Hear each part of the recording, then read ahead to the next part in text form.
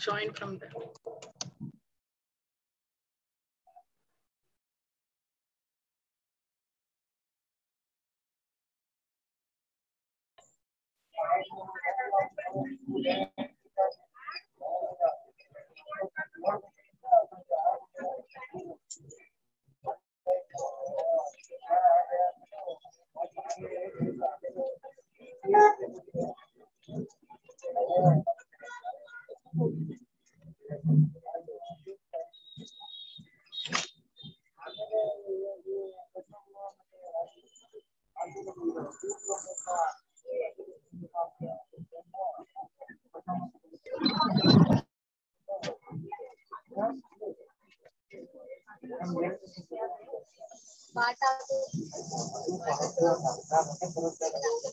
Join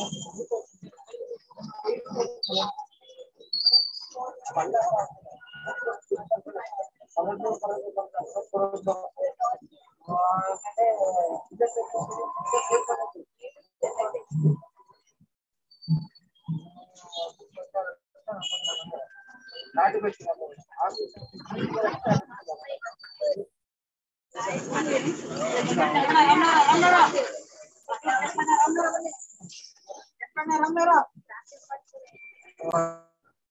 Shobha ma'am, please uh, mute all the participants.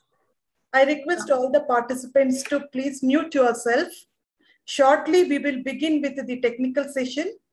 Day two technical session, all governance, regulation, and uh, security in cyberspace.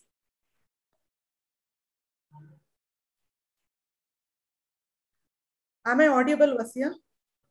Yeah, yes, Anita, you are audible.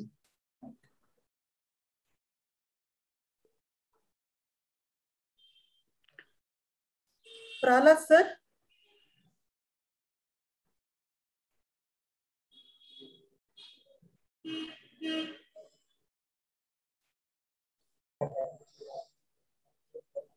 Good evening, sir.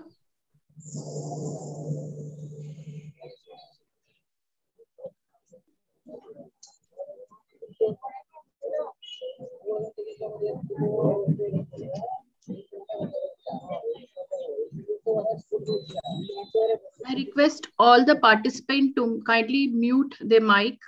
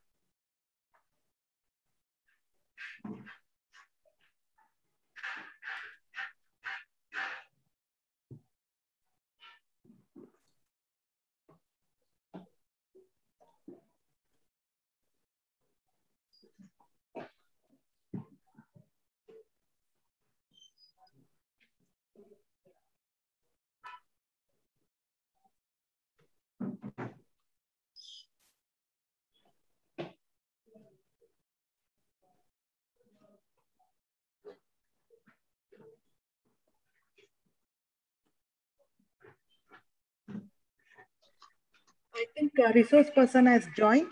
Dr. Mala?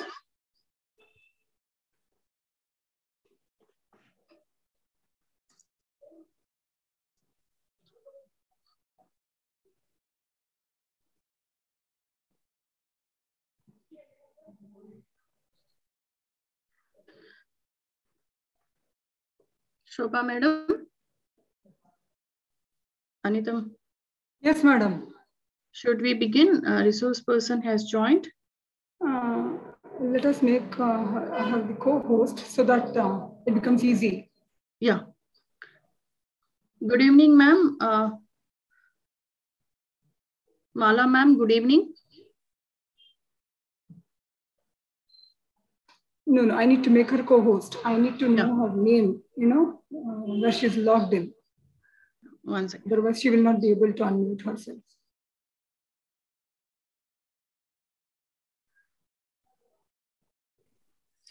Mala ma'am, you can unmute yourself now.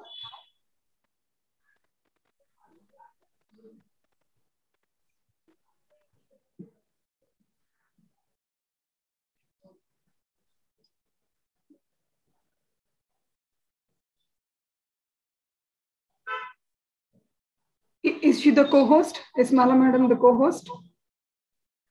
Uh, Mala Sharma.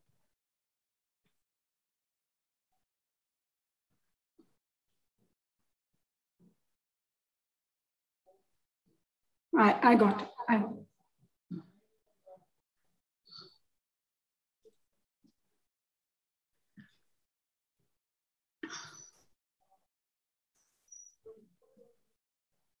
Yeah, I did Yeah. manage to unmute myself. Can you hear me? yes, madam, you, we can hear you. Oh, great. Good evening to all the participants. I welcome everyone uh, to the second day of this uh, International Faculty Development Program. I hand over the session to Dr. Wasiha for this. Good evening, everybody. It is a great privilege and pleasure to welcome you all to the second day's session of International FDP on ethical, social, and uh, issues in cyberspace. It gives me, uh, am I audible? Yes. At the outset, I express a heartfelt welcome to our resource person, Dr. Mala Sharma ma'am. Uh, Dr. Mala Sharma ma'am is a seasoned legal professional with extensive corporate, commercial law, and commercial dispute resolution expertise. She recently has joined London South Bank University, where she will be leading modules of contract law and international sale of goods. Dr. Sharma has completed her PhD research on international investment arbitration on full scholarship provided by the Faculty of Arts and Social Sciences, University of Surrey, United Kingdom. Previously, Dr. Sharma attended advanced academic qualification that includes two master's degrees in LLM, uh, LLM from London of School of Economics, master's in business law, degree from National Law School of Indian uh, University, Bengaluru, for which she was awarded PK Das Memorial Gold Medal for securing the highest marks in her cohort. With a career spanning over a decade, Dr. Sharma has grown through various roles in both private practice as well as academia, while providing bespoke legal advices, leading dispute resolution processes, and teaching university students. Dr. Sharma has uh, held associateship with two London-based law firms and was a principal associate with Nanavati, Nanavati Advocates, Ahmedabad, India, prior to starting her PhD. She now possesses a well-developed skills and knowledge in negotiation, legal drafting, and presentation and dispute resolution, coupled with exceptional proficiency for building and maintaining strong working relationship with clients, colleagues, industry, and stakeholders. In the past, Dr. Sharma held academic positions at United World School of Law, Gandhinagar JB Law College, Guwahati, National Law University, Assam.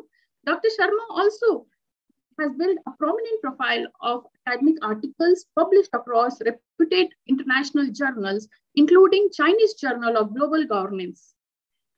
MAM is a blend of corporate and academia. So I think uh, MAM has also an expertise on transnational dispute resolution, and she has published a paper on tra in Transnational Dispute Resolution Journal, Journal of International Ombudsman Association. She is currently working on a paper accepted for publication in the Journal of World Trade and Investment on investors, state arbitration, and climatic change. Mala ma'am has been a speaker at several international conferences held in China and UK. In today's session, ma'am is going to put uh, throw a light on governance of cyberspace, which is also informed by her legal practice experience of dealing with online frauds and counter frauds bodies in UK and India. Ma'am, on behalf of Government Ram Narayan Chellaram College of Commerce and Management, uh, on behalf of our principal, on behalf of our, the whole organizing team and IQSC, I welcome you to this session, ma'am. Welcome you, ma'am. I welcome our beloved principal, sir, Dr. Uh, B. Chandrasekhara, sir, who has been a guiding light and a supporting pillar behind organizing this FDP. Welcome you, sir. Thank you. Thank you. I, I welcome Prahlad, sir, uh, the IQAC coordinator, and who has been uh, our continuous support and has been motivating us to organize these kind of programs. Prahlad, sir, welcome you to this program session, sir. I welcome the organizing secretary, uh, Dr. Shobha, to this session. And I also welcome all the participants who have logged in from various parts of the world to this session. I hope this session is going to be very informative and also knowledgeable for us. Thank you. And I hand over the session to Mala Sharma ma'am. Thank you. Thank you, Dr. Firdaus. It's, it's lovely to be able to present this session here today. And thank you for the warm welcome and the introduction. I have prepared a few slides and I think uh, it would make things easy if I can just share them. Ma'am, we have made you co-host, ma'am, so you can share yeah. the screen. Uh, I hope you're able to see it. Yes, madam, we can see. Yeah, yeah. we can see it.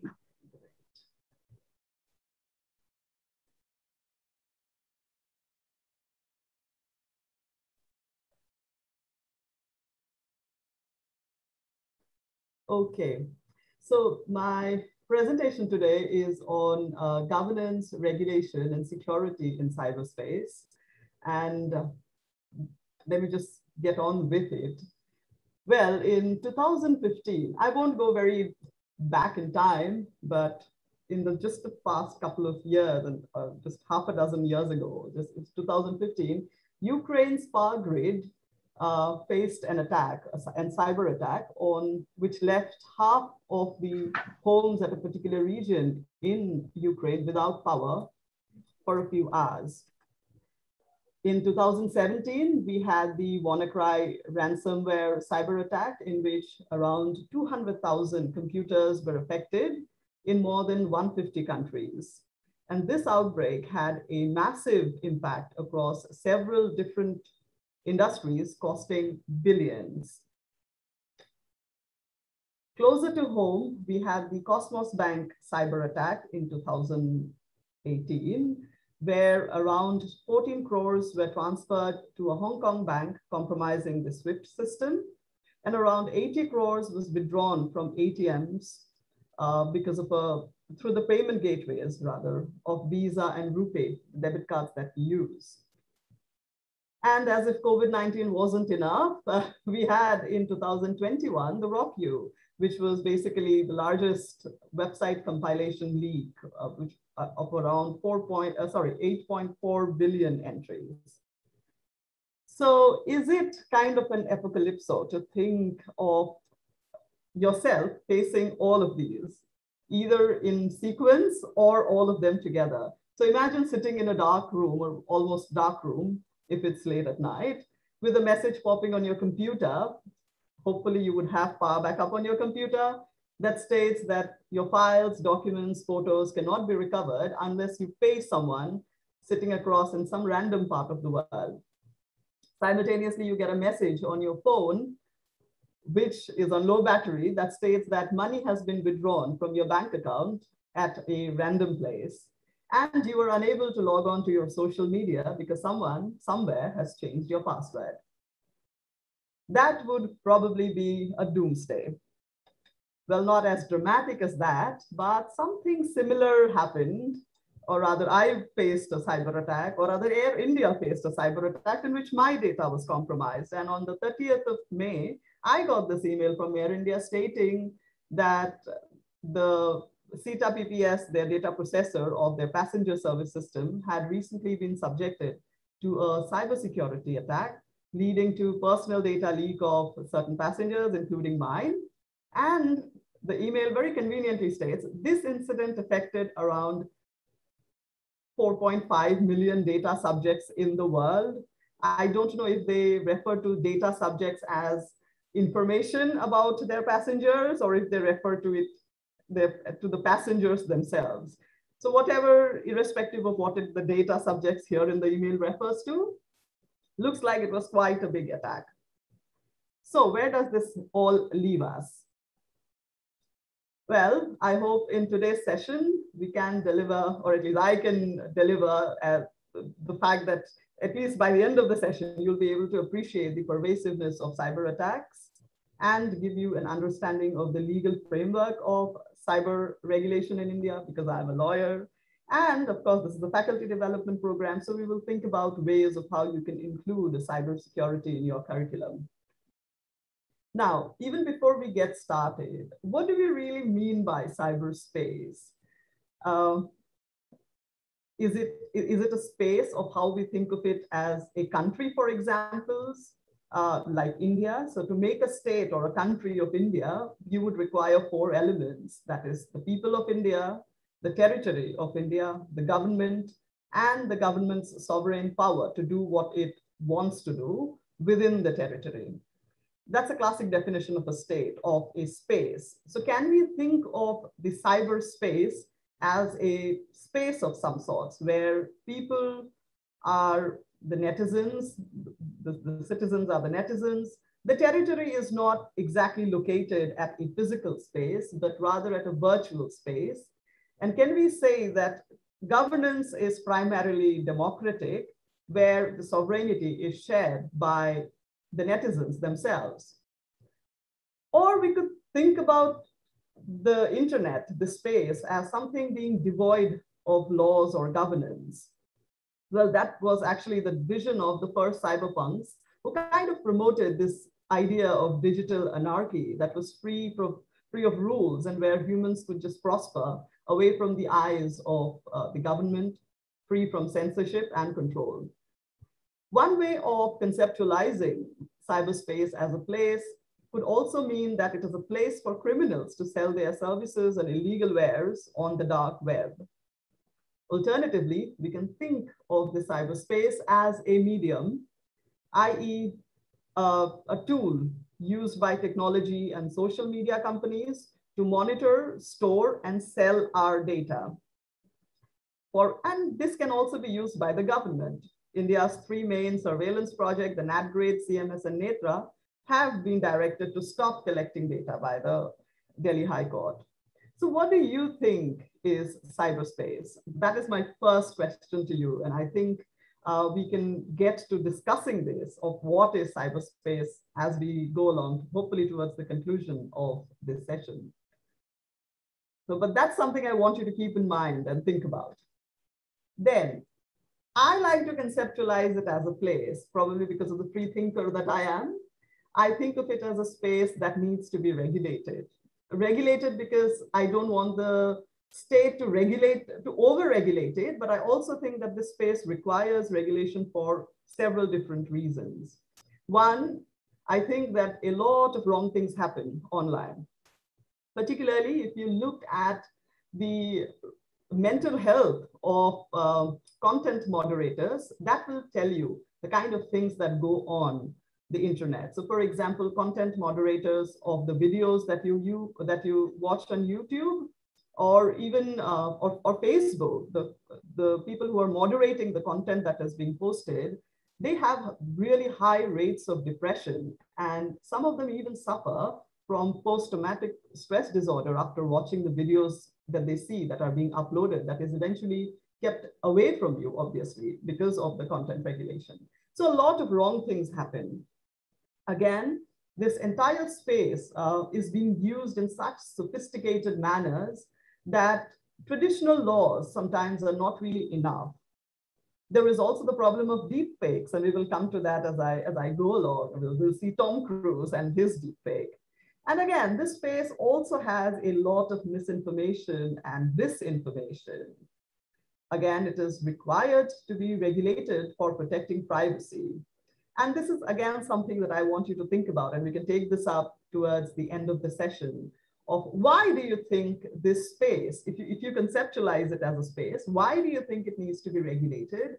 Or if you think of it as a medium, why that needs to be regulated? Well, the European Union has published, a, I mean, it published a paper a long time ago. This was sometime in 1996, where it pointed out around eight different reasons of why this particular cyberspace needs to be regulated. They cited reasons of national security, that instructions on bomb making, illegal drug production, terrorist activities, information on all of this is so easily available on the net. Secondly, for protection of minors, there are abusive forms of marketing, violence, pornography, a huge problem. And again, we will, we will see uh, this as we go along. It is also important to regulate internet for protection of human dignity. So you don't want uh, hate speech being promoted. You don't want incitement of racial hatred or racial discrimination. And closer to us, to most of us, I guess, is also economic security for those of us who use online banking. Fraud, instructions on pirating credit cards of how you could do that. It was all available on this dark, gloomy, not gloomy, well, dark place of internet. And of course, there is the problem with information security of malicious hacking. Again, you don't want unauthorized communication of personal data or electronic harassment, right? And it is important to regulate all of this for protection of reputation and of course, intellectual property. So the EU gives all of these different reasons why we need to regulate internet. Again, as we go along, I want you to think, what are your reasons? Why do you think the space or this medium needs to be regulated? So I was talking about deep fakes. Sometime between February and June this year, uh, you might have seen this in TikTok. It went viral on TikTok, which, uh, well, you might not have because I think TikTok is banned in India, but you may have come across this in newspaper reports, or if you haven't, here it is for you for the first time. Where in this year, it featured uh, an artificial intelligence generated doppelganger who was meant to look and sound like Tom Cruise. So we see Tom Cruise flipping coin, chewing, um, getting very excited about finding a chewing gum inside a lollipop. But this was an artistic creation of an artist.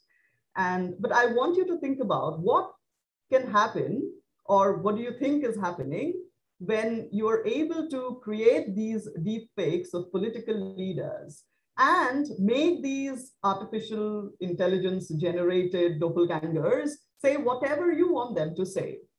What do you think will be the implications if a political leader makes some statements hurting sentiments of a religious minority, for example? What do you think is going to happen?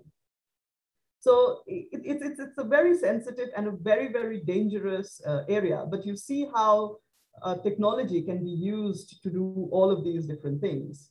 Again, there is this whole problem of misinformation and disinformation. Misinformation is when you unintentionally say something untrue, whereas disinformation is where I, you are actually propagating something that is untrue as a propaganda. So this, uh, the picture that you see here on the screen is that of a so-called restaurant in uh, the shed at Dulwich. Now, I think I need to just increase my volume. Is it audible now? Are you able to hear me?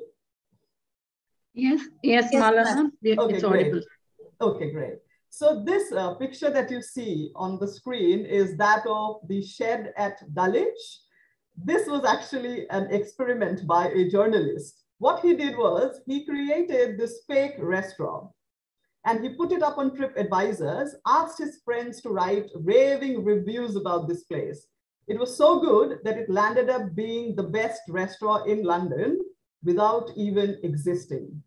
So the journalist takes it further. He actually invites people over for a night, for, for dinner, and he creates this atmosphere in, I think it was his studio or the rented place that he was living in. where he's serving people microwave food. And people actually, when they left, they said that they really enjoyed the place and the ambiance and the uniqueness of the place, etc., etc.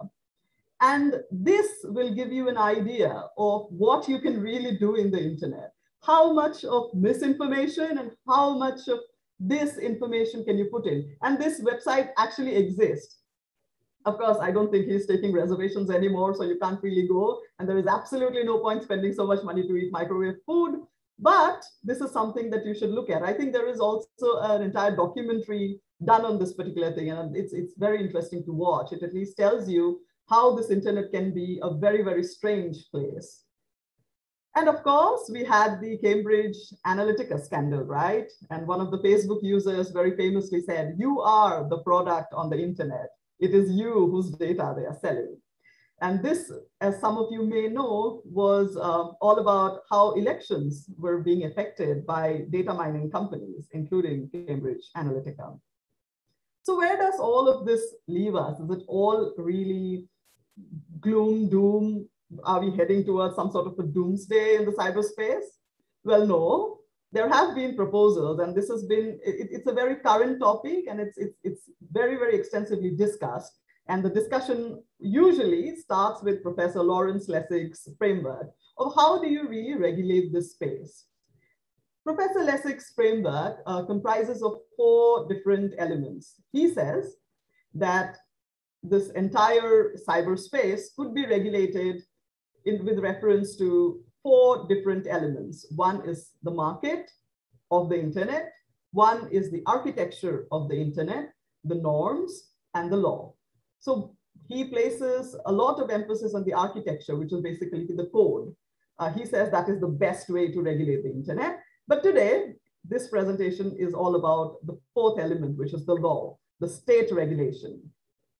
Professor Lessig, he criticized uh, the belief that the internet is some sort of a sovereign entity without ties to the traditional legal system.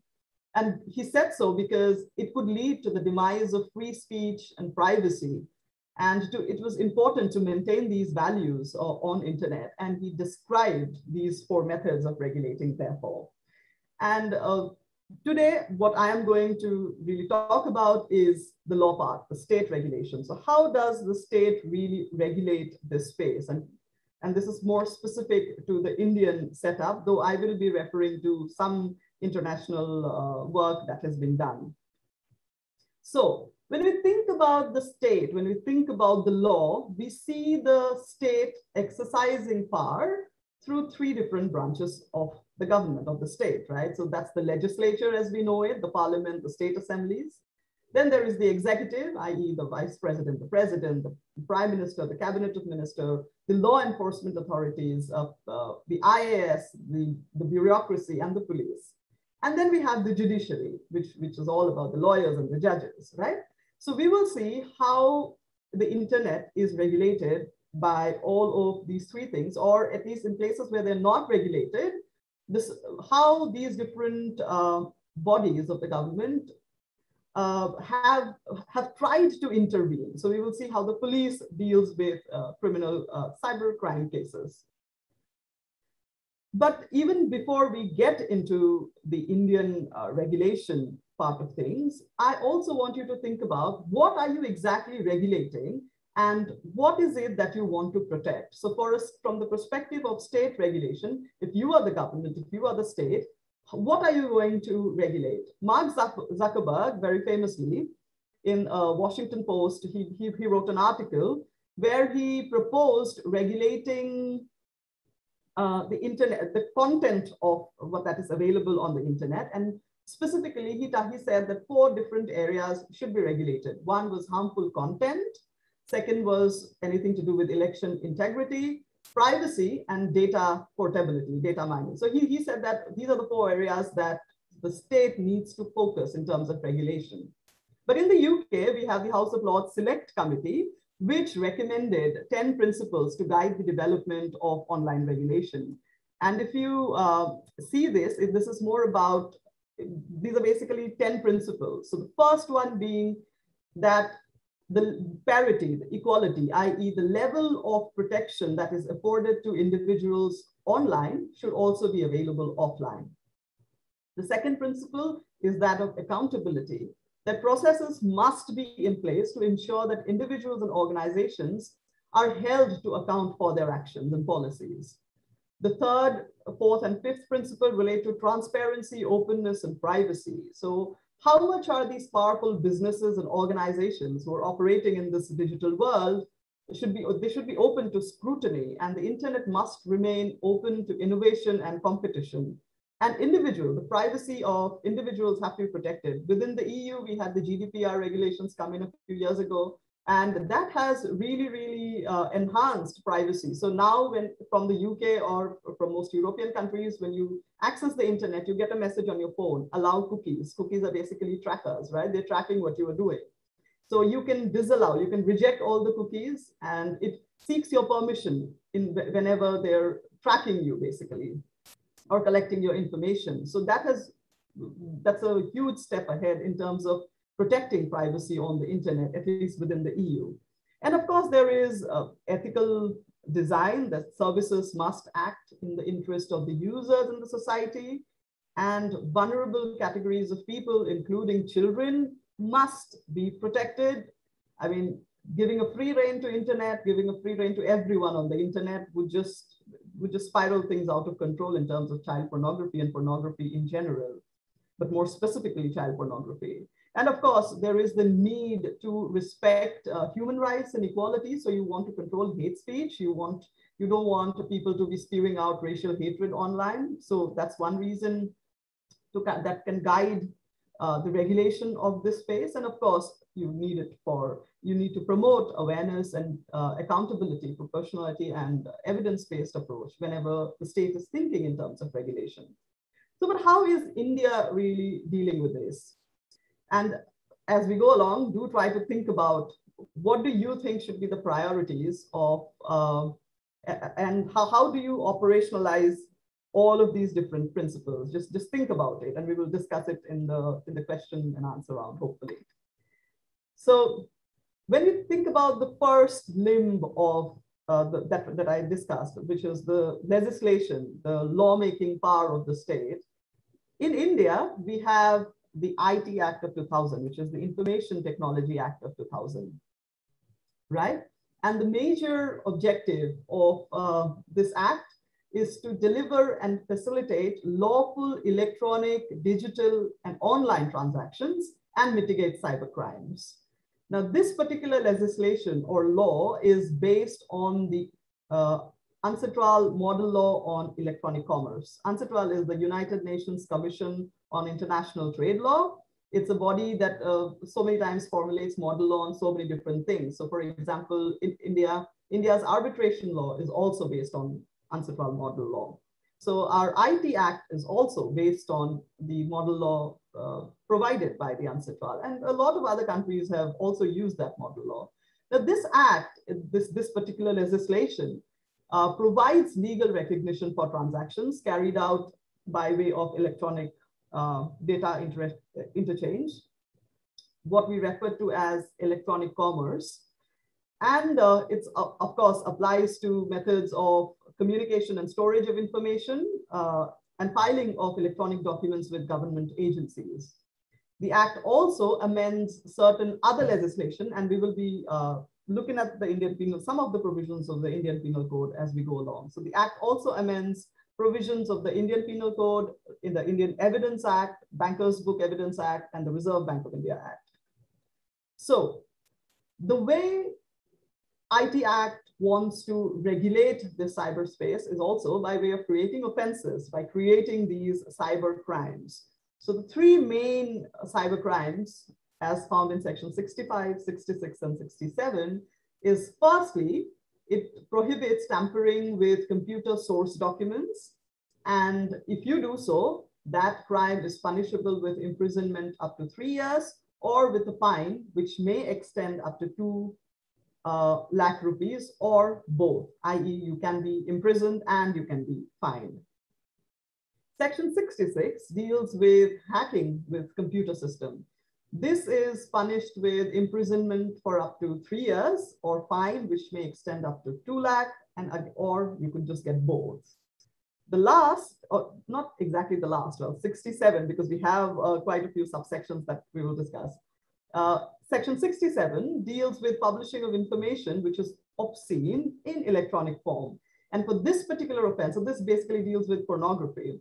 This has a graduated uh, system of punishment. So for the first time that a person is convicted, uh, you are imprisoned for five years and one lakh of uh, fine. For the second and subsequent convictions, you can be imprisoned for almost 10 years and the fine is 2 lakh rupees. In addition to these three, there is, there is punishment prescribed for several other uh, related crimes, all of which are covered between 66A through 66F. And of course, there is 67A and 67B. In a case law of Shreya Singhal and Union of India, the provisions of section, or rather section 66A was struck off as being unconstitutional. So that no longer applies, but we still have punishments prescribed for dishonestly receiving stolen computer resource or communication device. We have punishments for identity theft. You have punishment for cheating by personation by using computer resource. There is punishment for violation of privacy, punishment for cyber terrorism, punishment for publishing or transmitting of uh, material uh, containing sexually explicit act or in an electronic form. And you have punishment for publishing or transmitting of material depicting children in sexually explicit act, i.e. child pornography. Just, uh, I, just one second, I think I, okay. I think there is a problem with my hearing. If you just give me a moment, I think I should just turn off my fan and just, just give me like two seconds literally, yeah? Because I think it's the fan that is because I've increased my volume to the highest level it can go, but I think it's the fan that's creating a little bit of an issue. Just, just give me one moment.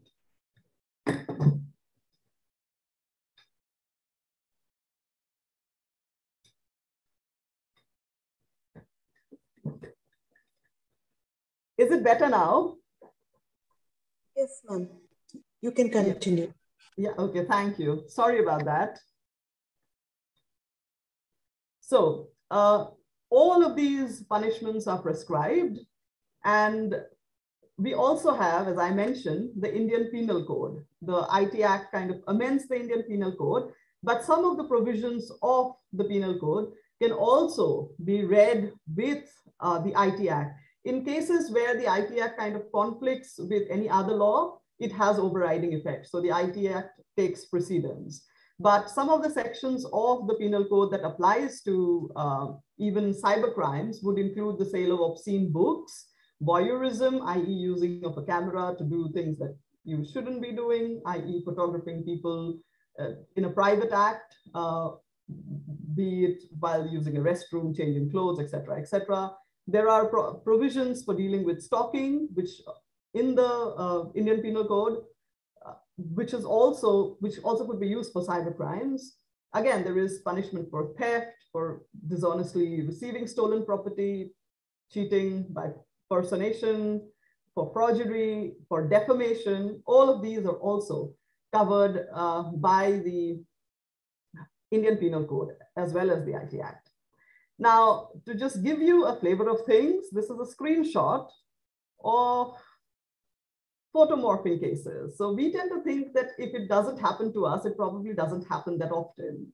But just while I was doing research for this particular presentation, you will be surprised to know just in the month of August, just in this one newspaper, there were eight different reports of photomorphing cases. So I, I hope that helps you appreciate the, the scale at which cybercrimes happen. Similarly, this was uh, in one of the cities, uh, in, in Nagpur, where 38 cases were registered, 30 arrests were made for child pornography in the last eight months, not even, so you can imagine how rampant, how rampant cybercrimes are. And of course, so along with uh, the IT Act and the Indian Penal Code, regulating all of the crimes, We also have certain other I rules made under the IT Act. These are kind of secondary instruments. Uh, for example, the latest one is the Information Technology Intermediary Guidelines and Digital Media Ethics Code, uh, which was just released a few months ago uh, by the Ministry of Electronics and Information Technology. Now, this particularly applies to social media companies, Twitter, Facebook, WhatsApp, and there have been a few cases currently pending in the court as to the applicability of the rules, etc., and what they really require uh, these social media, these big giants to do. But I, I don't know how, in which directions the judgments are going to go. We will see that. But I want you to also appreciate that the crimes as such are regulated by the Act, the Indian Penal Code, but also the internet is regulated in terms of regulating these really big companies or even smaller companies providing services over the internet with other kind of rules. So, and this is a very interesting uh, set of rules and you might want to explore this uh, in a bit more detail. So what are the main challenges that you would face in regulating? I guess it's just internet is so broad to speak, right? This, this massive space, this huge medium, which comprises of so many different layers and levels such as network infrastructure, protocol, standards. And on top of that, it's the user services built on it, right? So how do you, in regulating all of this, maintain the right balance between ensuring the free flow of information that we get today and guaranteeing the protection of public interest, i.e. saving children, not promoting racial hatred. So that is again something that I want you to think about. So that's the legislation part of things. Now come to think of the enforcement of these things. How does the enforcement uh, really happen? Well, you go to the police. Something wrong happens, a crime happens, you go to the police, right? That's the usual thing you do. You go to the police station, you register a written complaint at the cyber cell of the city, and there you need to provide some of your information, your name, your contact details, your address, etc. And if it doesn't, if the police station or the, that department doesn't really have a dedicated cyber cell, you register a cybercrime FIR in the local police station. You can also insist on registering a zero FIR in which a police officer cannot deny the registration uh, of a zero FIR, even if that offense is committed outside the police station's jurisdiction. So usually uh, if a crime happens, you would report it to the police station of a particular jurisdiction, right? So for zero FIRs, you don't need that. You just report it to any police station and then they kind of internally transfer it to the relevant uh, police station if, or, or they have to basically act. So that is something that you can make use of.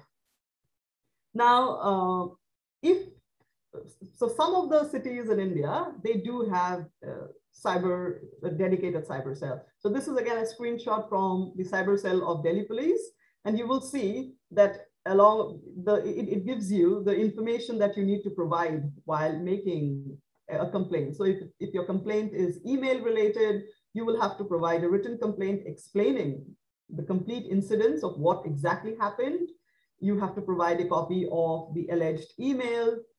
Uh, you know, the full header of the email so that the sender at the time uh, is known by them. And of course, for social media related complaints, there are a set of other things that you need to provide. For example, a screenshot of the URL or the soft copy could be given as a CD-ROM.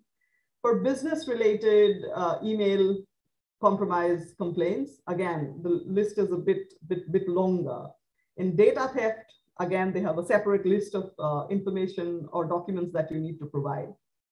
And it's worthwhile if you're interested, just go to their website and see. There are quite a few. I've just copied like uh, two screenshots, but there are quite, the list is pretty long.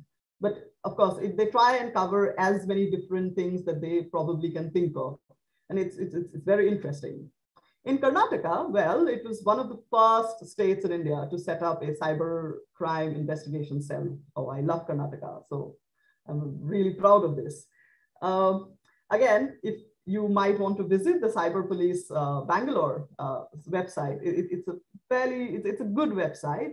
And I managed to, again, take a few screenshots of the forms and the information that they need when you're making a complaint.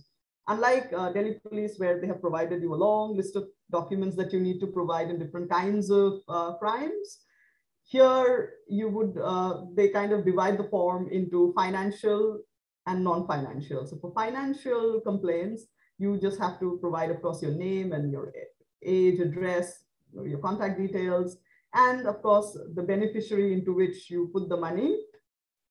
And then, of course, provide a description of the incident and how you were victimized, which was basically the facts of the case in brief. And, but for uh, the form is a bit different for non-financial crime. So if it is a case of identity theft or information or tampering of computer resources, WhatsApp image, video morphing, email hacking, obscene sexually explicit content, child pornography or others, you just stick it and you explain it. The forms, the other information on both this financial and non-financial are kind of similar, except, except this bit. Now that was about law enforcement, right? So how about uh, the judiciary? How do you, how, how does the judicial wing of the state? So we, we, we discussed how legislation works. We discussed how law enforcement or the police works.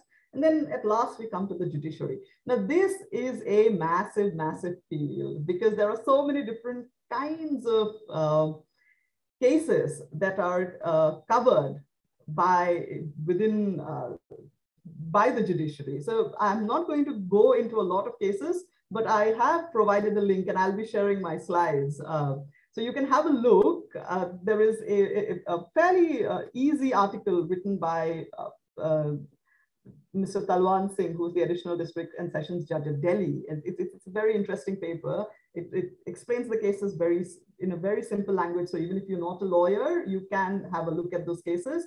They can make such good script for movies, and I'm not kidding you here. So again, the Indian judiciary, also the Supreme Court has ruled on the constitutionality of some of the provisions of the IT Act, and we saw how 66A was struck down in the case of Shreya Singhal. Another area that is currently being discussed here is the need for cyber courts in India. Do we need specialized courts in India to, uh, do you think it would be useful uh, in terms of really, really real specialized courts dealing with these kind of crimes because they're increasingly becoming so sophisticated. So is there a need to train judges to really take cognizance of the intricacies that go on in cyber crimes. That's, the, that's something that's open to debate. And again, we can discuss this as we go along. But what does all of this mean for our faculty development program? Well, it just means, I guess, three things. One, you want to stay safe yourself. You, you want your students to stay safe. So if I've provided the links here, and if you just visit the website of the Bangalore Cyber Police, um, you'll see that there are do's and don'ts for both teachers and students. And some of it, uh, you can really, really hone it to your students to you know, follow these guidelines. The second way in which we can uh, deal with these kind of cyber crimes and increase awareness of cybersecurity is when we are teaching. As teachers, uh, whether you're teaching a banking subject or contracts or you're teaching hotel management, you can always make use of examples of cyber crimes, which is very specific to your discipline. So you could think about ways of incorporating these examples. And thirdly, you can also encourage training for your students, or if you are interested, you can just have a look. I have uh, provided some of the links for some of the free courses. You don't have to pay anything. This is all open access. You can if you want to get a certificate, I think for edX, for a few courses on edX, you have to pay, but to do the course itself, just to become aware, it, these are incredibly good uh, places. There is a course by Washington University on Introduction uh, to Cybersecurity that's available for free.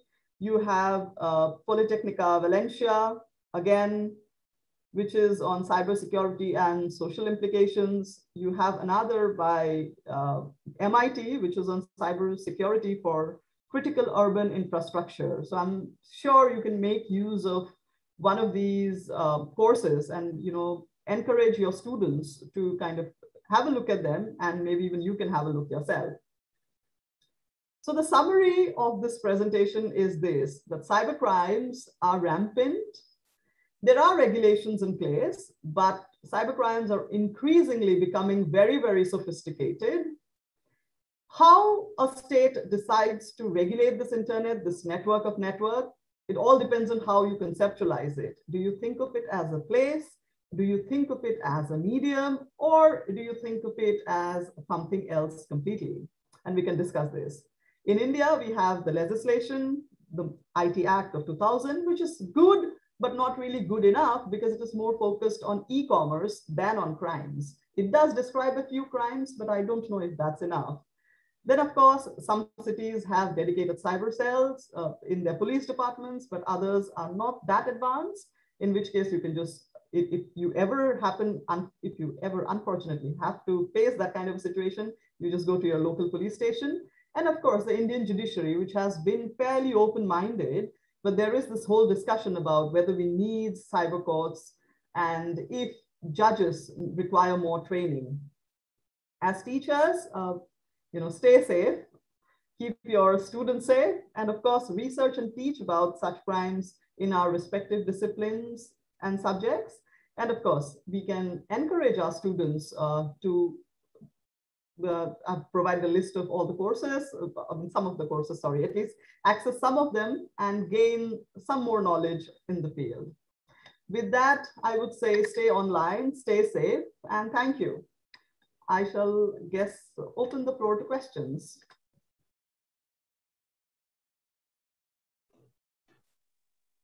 Lucia ma'am, are you there? Uh, yes, Anita madam, I'm here. The participants uh, here now can ask any queries or questions what they have uh, in, in be related to the session. Dear participants, uh, you can ask any question related to the session. You can also post it in the chat.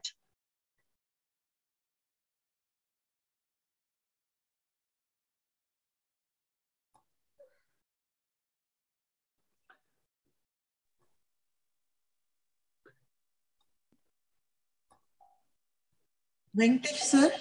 Venkatesh sir, you had a question? No, two participants have raised their hands. Uh, please unmute them.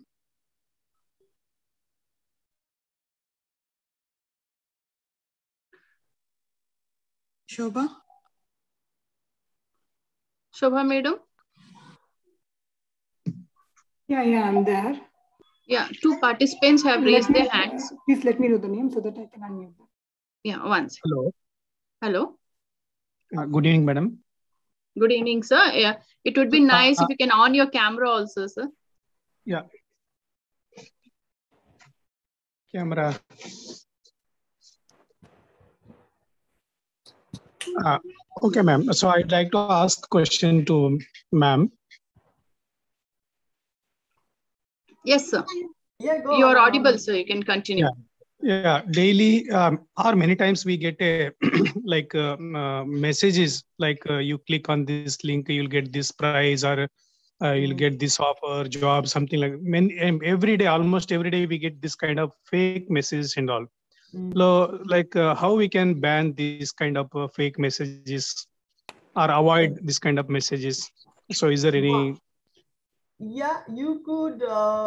There are. The, I think your service provider must be providing a disabled all these kind of messages. So you have a provision to disable them from your end. And of course, uh, in some, I think even in Bangalore, you do have. A, I, I think I saw that on the on the website of the cyber police, where you can just report those kind of numbers.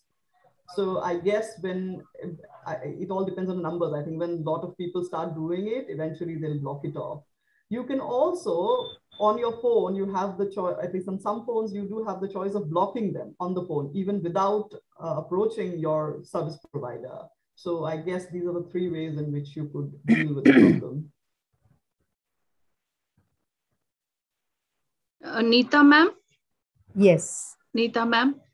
I request you to on your camera Yes. and yes. introduce yourself and then ask the question. Yes. It would be very nice. Good evening. I'm Good Dr. evening. Neeta Mathur from the state of Rajasthan. I work at uh, the government college at a place called Nasirabad. I teach English. my question is that more and more now we are dependent on the internet, particularly the school children, because their education is being, you know, so-called transmitted through this medium.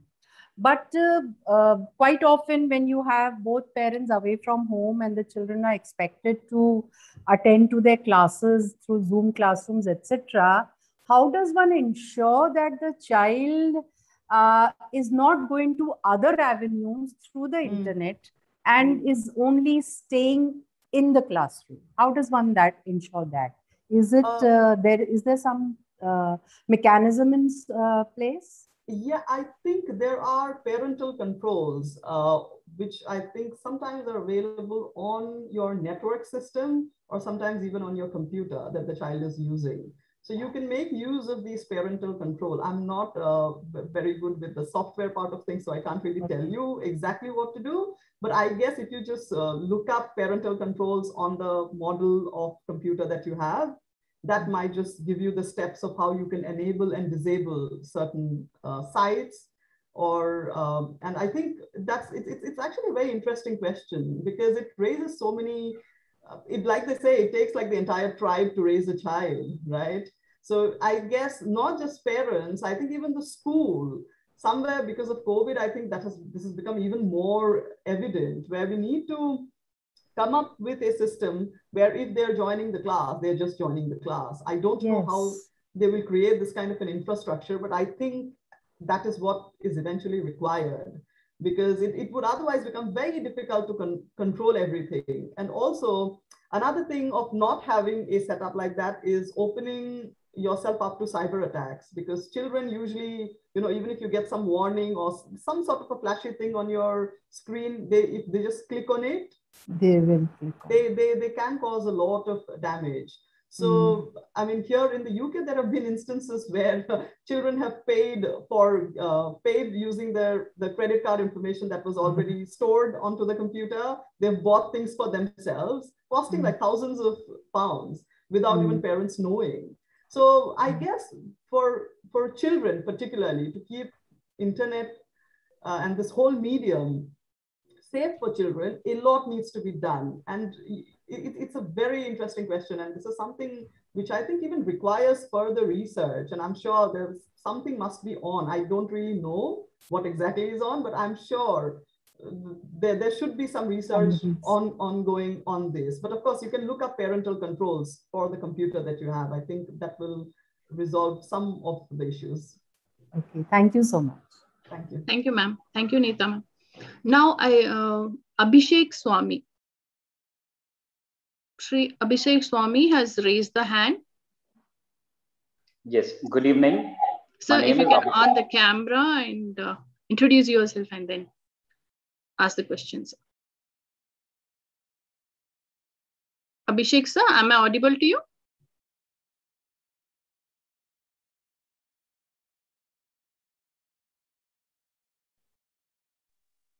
Vasia ma'am, I think we can ask another participants by the time no, Abhishek he's not uh, able to. I'm, yeah, now yeah, I'm, yeah, I'm, I'm, able to mute my, uh, unmute myself.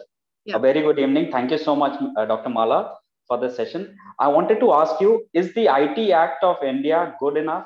And is it good enough for the uh, safeguarding the interest of the citizens, of uh, Indian citizens? And what else can be done yeah, thank you. Again, a very interesting question, particularly because I'm a lawyer. I think the IT Act is not enough, really. It is because it is based on the UNCITRAL model law. It is primarily to kind of safeguard electronic e-commerce. I don't know if it is a, it does criminalize a few things, but is that enough to just protect the internet? I'm not sure regarding the second part of your question of what can be done, I think this is a question which has to be addressed at different levels. The internet is a huge place. It's, it's, a, it's a strange, huge network of network. And I don't know if just legislation or governmental action is enough. I think the onus is on us as uh, individuals living in a society to do to, to really take care. So if you see, and we can do this in so many different ways. For example, you see a wrong comment on Twitter, report it. Don't be shy or don't think like it doesn't concern me or that comment is not directed to me. I think a lot of things can, could be done with collective effort. And that is one of the things also Lawrence Lessig talks about, like social norms. And of course, we can have uh, more uh, stringent coding within it. So of, as I explained, the four different things on uh, Professor Lawrence Lessig's model, we have to use all of those four things to really, really regulate this place. But in terms of the law itself, it, it's, it's, it's good, but I don't know if it's enough. I hope that answers your question.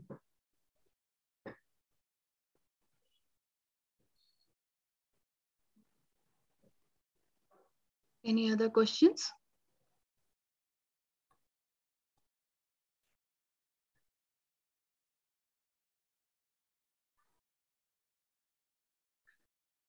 There's one more question, ma'am. Uh, uh, when we talk about data mining, usually mm. when we go to any malls, our data, we share it for some or other reason. Uh, mm. That time, the data gets stolen by other companies and we get lots of calls mm. and some are fraud. So hmm. when we talk about legality as a co consumer, uh, how hmm. will law protect us from our being our personal data being stolen because mobile email IDs are our personal data. Mm. But somehow through data mining, many of the MNCs are using this data. Mm. At one level, it is also up to us to be careful of how much information we give out. At if something wrong is happening, A, it is our responsibility to report it, right? So you could report it if it is something if it's if it's some sort of a harassment, you would report it to the police. But if it's like constant barrage of marketing emails, you might want to write to the relevant company and say that this is happening. And in fact, uh, when you talk about information and passwords, etc., not only in it just doesn't happen when we go to say shopping malls. It's actually it's it, again the question is so important because it happens so often. So we have the case of uh, Arif Azim versus Union of India, where a call center employee uh, took the details, the credit card details of a person resident in the US and used the Sony Sambandh website. By basically, Sony Sambandh is a website by which NRIs can send gifts to India, to, to their uh, family and friends in India. So he used that website and uh, used the details that he got during his job to order himself a pair of, I think, headphones and a TV, television set or something like that. So a lot of these things happen. And of course, the person got away pretty lenient because he was young and it was, he was a first time offender. nothing much happened.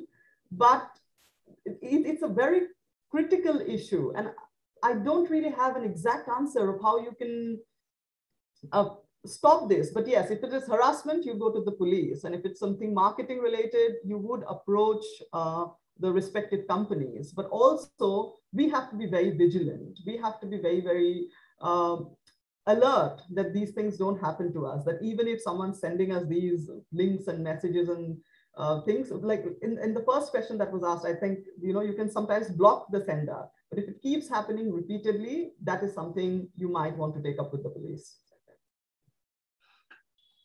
Malam, we have a question from uh, Ms. Gayatri M.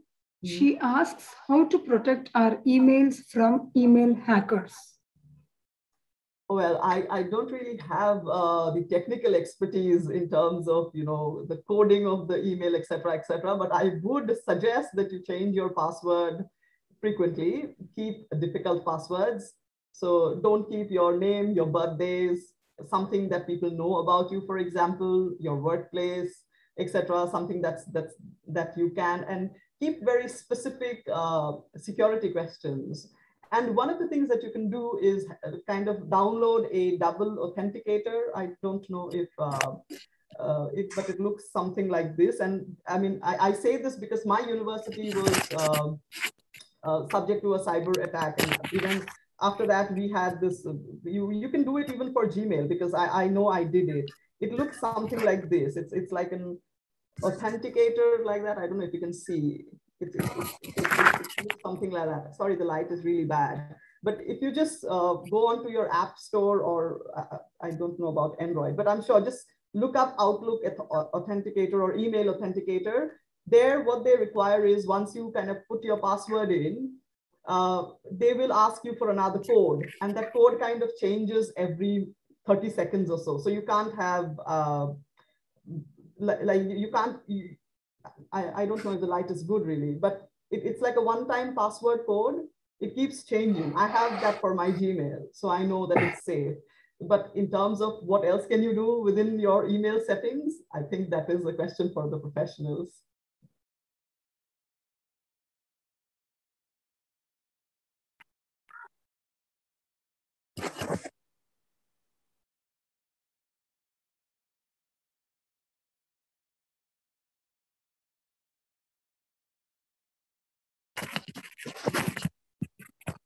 There's a very interesting comment. Uh, it says something like everybody is telling be careful about cybercrime, but nobody is giving any authentic way to protect. Why?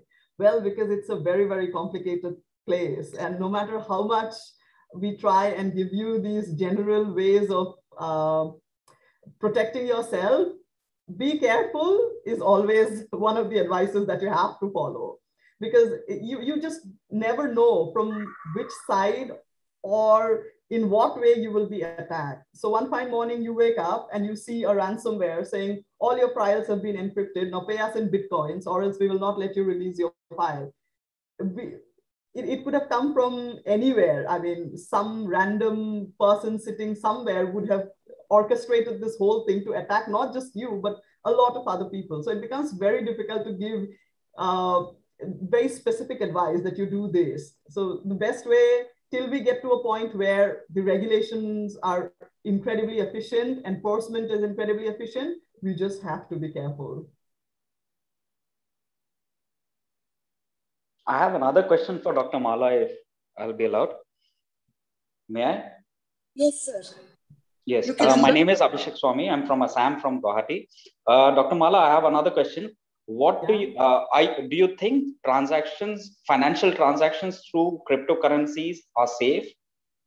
And should they be regulated? Cryptocurrency currently is not regulated in india. Do you think it should be regulated and made well, part of the financial system of india? Well i'm not very futuristic. And to be honest i don't really have the requisite knowledge to comment on the subject but the way bitcoins are growing and the way people are investing in them i think in the time to come they will be a normal feature of our society.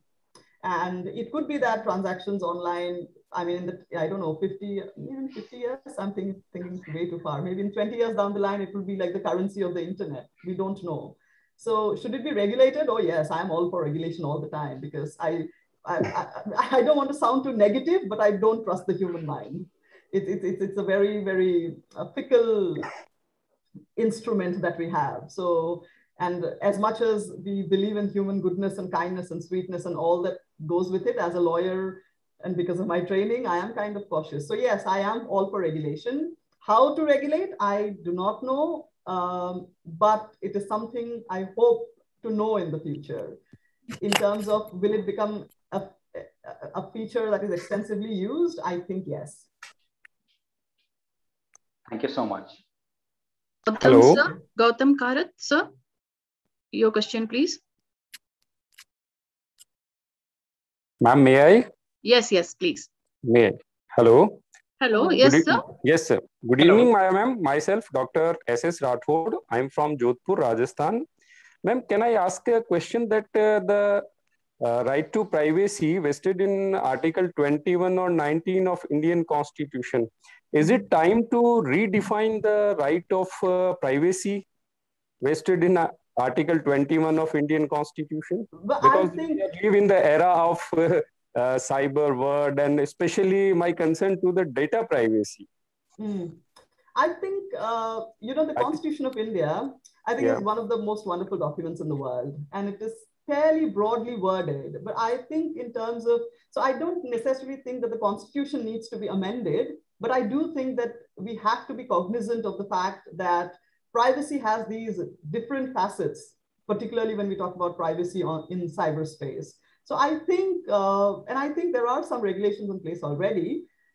What we could do is have very, very specific legislation on privacy within the cyberspace. So if that means regulating these big social media companies, regulating um, other pro service providers, I think that is a better way to go around because when you just, I mean, you could, but why would you change the constitution, for example? I mean, it, it would be something very overarching. Whereas if you have a more specific legislation on privacy, it is much easier to make people accountable. So you know who will be made accountable. So for example, in the new intermediary guidelines that have come up in February uh, this year and which became, I think, effective from May this year, uh, a lot of companies are now required to have a person called the grievance redressal officer.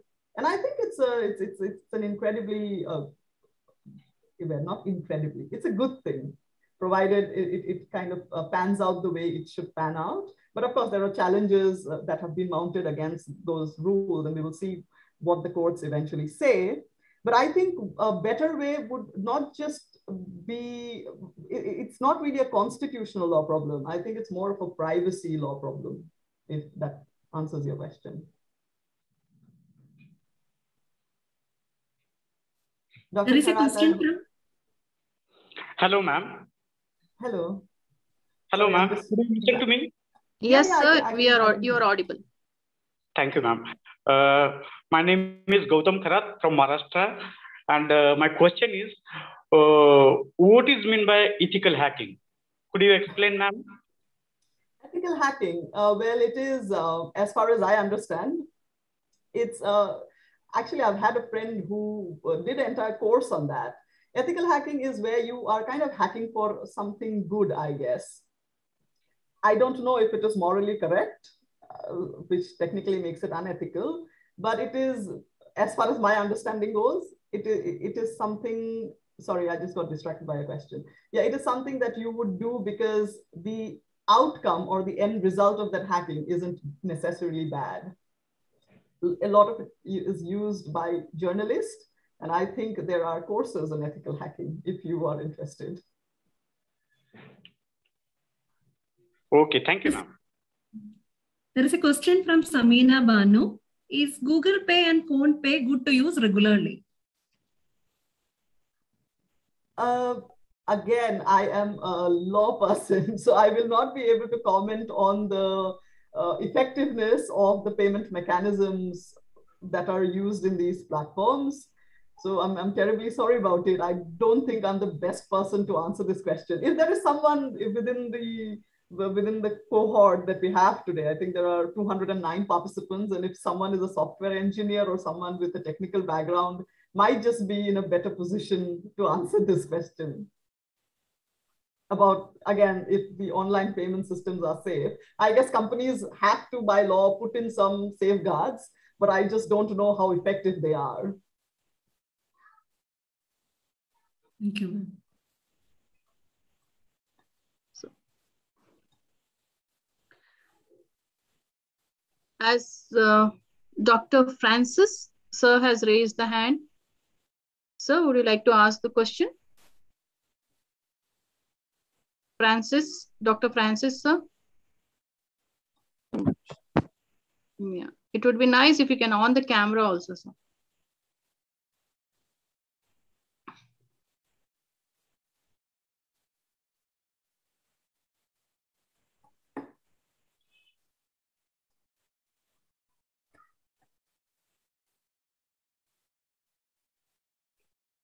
Dr. Francis, we are not able to hear from you.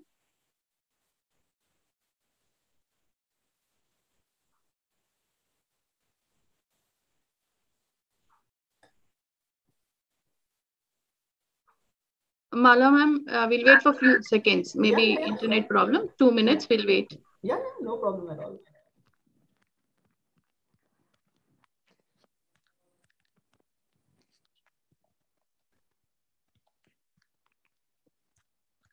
In meantime, any other participants want to ask a question?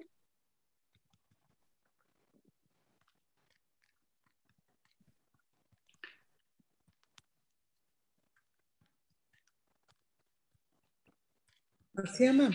Ah, I think uh, I, questions. Mm. Yeah, I think uh, we have done with the questions.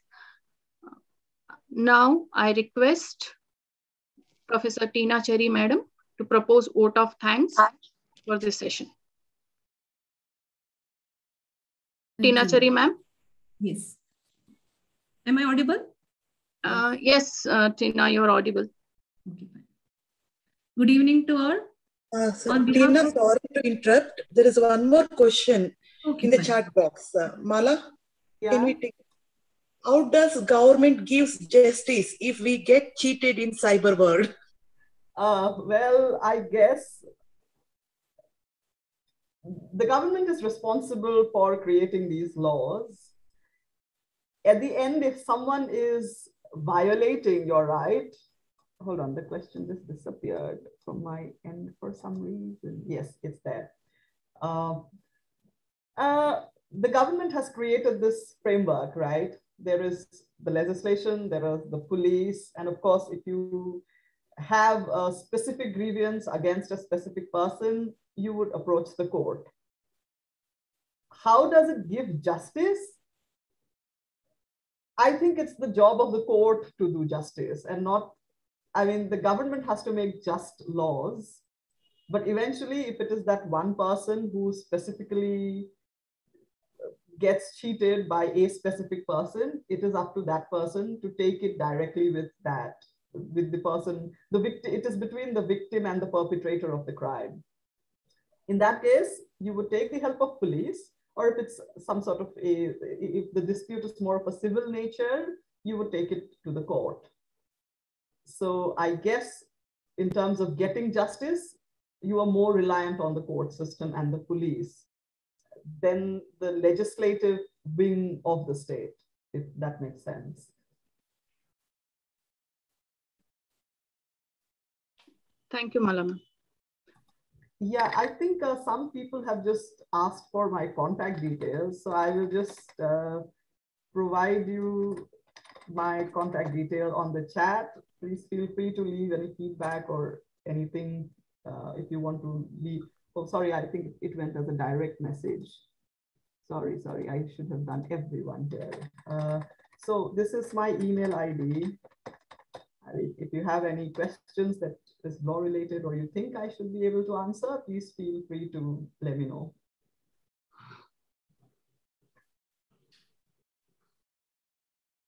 Yeah, I guess, yeah, thank you. I mean, if there is any other question, I'm, I'm done from my end. Uh, there is one more question, uh, Dr. Mala. Yeah. Can you take up? Yeah, if someone hacks into one mail ID, use the credential, and send some message against against the state, what? Okay, this is interesting. What protection does account holder get? Hmm, against the state, well, the state is responsible for protecting itself. I mean, the state has huge resources for itself. It has the entire, uh, you know, this. I'm assuming that the state is a fairly rich entity that can take care of its of uh, its own interests. So I wouldn't be worried uh, as to what the state uh, could do really.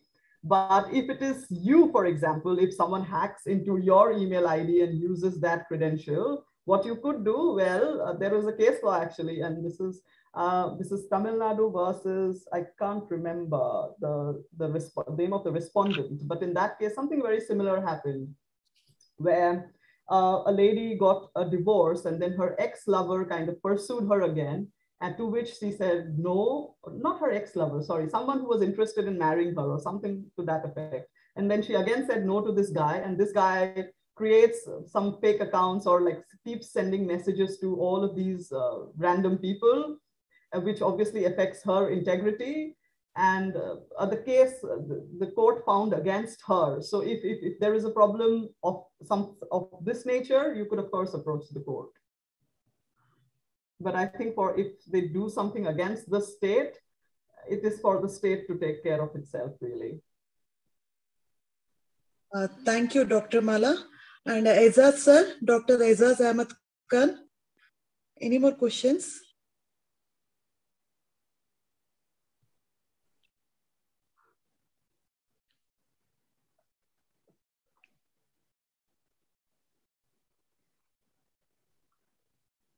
Now I hand over the session to Tina Cherry, ma'am. Tina, ma'am. Now I hope all the doubts got cleared. Good evening to all. On behalf of Government RC College, Bangalore, I take this opportunity to thank Dr. Mala Sharma, ma'am, for today's session on governance, regulations, and security in cyberspace. This topic is of great relevance in the present scenario and Dr. Mala ma'am has provided us with valuable insights on the legal provisions relating to cyber crimes, the procedure as to how to file complaint, and also ma'am has patiently clarified all our doubts. It was the session was highly informative, ma'am. Thank you, ma'am. Thank you so much. Thank you. Now I would like to thank our beloved principal, Dr. B. Chandrasekharan sir, for his support to the International Faculty Development Program. Also, I would like to thank Dr. Prahalad Chaudhary sir, IQAC coordinator for all the support extended to this program. Also, I thank Dr. Satish sir, IQAC co-coordinator, Professor Lakshman Kulgot sir, HOD, Commerce Department. I would like to thank all the participants of this FDP. Also, I thank Organizing Secretary, Dr. Shobha ma'am, and also the team members for organizing this FDP. Thank you. Kindly post uh, that, uh, kindly fill the, the feedback form which is posted. Thank you.